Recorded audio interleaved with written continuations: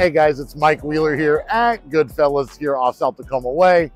Just wanted to show a new truck we just got. It's a 2015 Ford F350 with the 6.7 liter diesel engine in it. This one's only got 113,000 miles and it is a platinum. So it's got everything in this that you could ever want. Come take a look. So you have all the power electric seats, forward, backwards, up, down, lumbar support.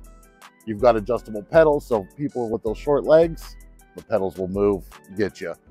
Um, heated steering wheel, heated seats, cooled seats. You've got power windows, power locks, power mirrors. They fold in with just a push of a button and they extend out with just a push of a button. They're also heated. The back seats, you even have heated seats in the back for the little ones or friends. Um, but that way they can stay warm too in the winter. The back seats also fold up and you've got storage underneath the back seats, which is always nice.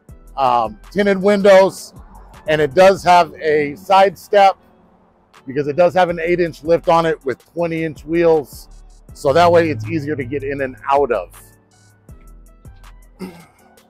It does come with a backup camera a fold down bed with the stairs and